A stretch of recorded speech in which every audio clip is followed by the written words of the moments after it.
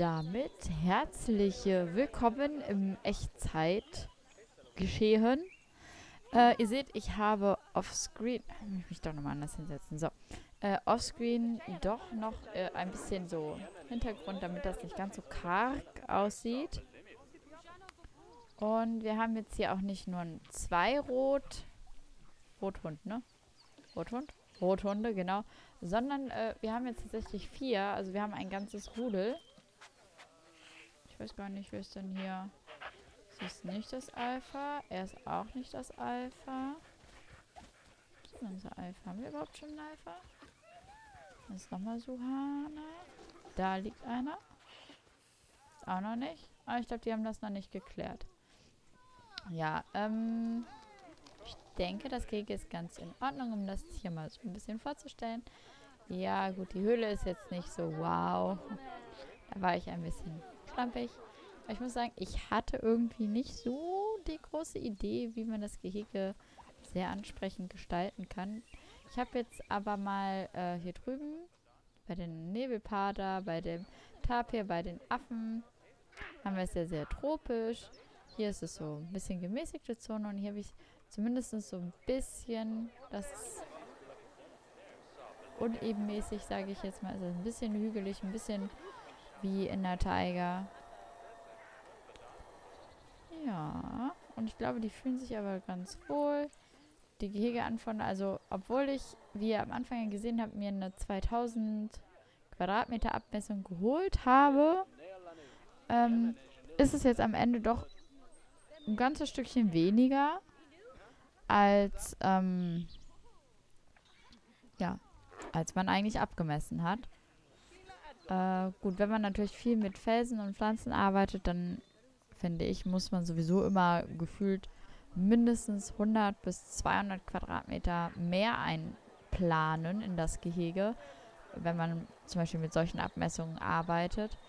Einfach weil, wenn man sich jetzt mal die Laufweg, also den passierbaren Bereich anschaut, sieht man einfach, also um die Bäume fehlt immer, geht immer ein bisschen was flöten. Bei den Pflanzen, eben wenn man mit Felsen arbeitet, auch hier hinten an, an der Barriere.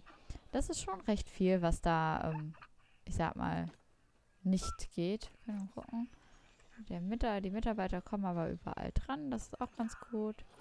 Rückzugsort ist jetzt nur da. Das ist aber, glaube ich, ja, es ist so mittelmäßig. Gegen Sauberkeit. Ja gut, da müsste jetzt demnächst mal wieder ein Pfleger kommen. Aber was ich euch jetzt natürlich super gerne zeigen würde, ist natürlich, wie die Welpen, ich gehe mal davon aus, das würde auch Welpen heißen, aussehen.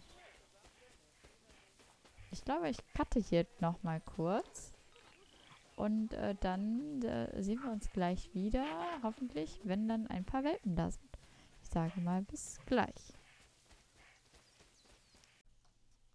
So. Da sind wir auch schon wieder zurück.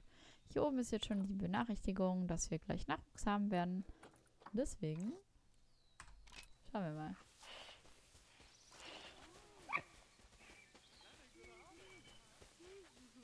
Bleiben wir jetzt mal hier bei ihr. Schnüffel, schnüffel. Okay. Dann schauen wir mal. Alles klar.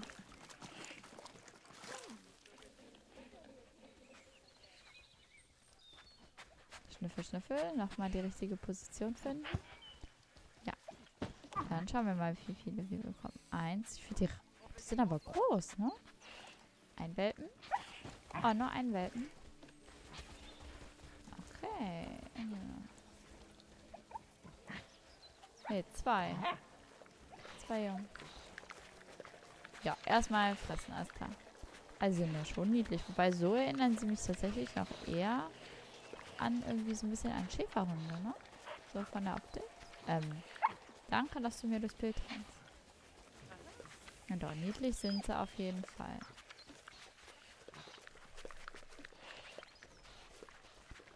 Hm, ja. Also in klein erinnern die noch eher, finde ich, an den Hund. Auf jeden Fall sehr niedlich.